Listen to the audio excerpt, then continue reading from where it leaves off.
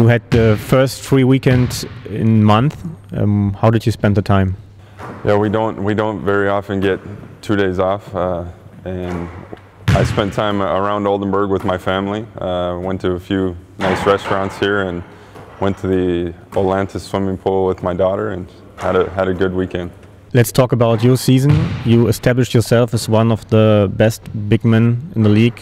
Um, what are the reasons for that?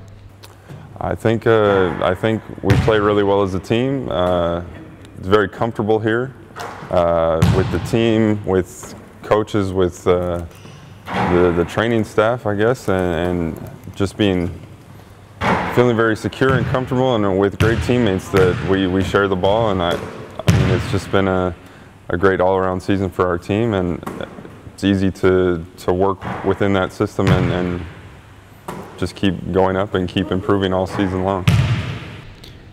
Now you will face Strasbourg tomorrow. You already talked about the opponent. What will be the keys to win the game?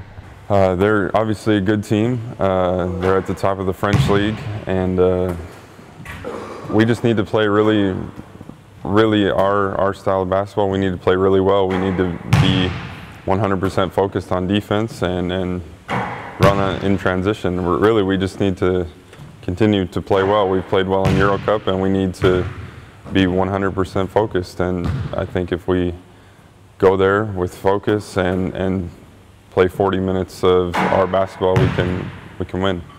Less than 48 hours later, you will face um, Hagen. How tough will that be?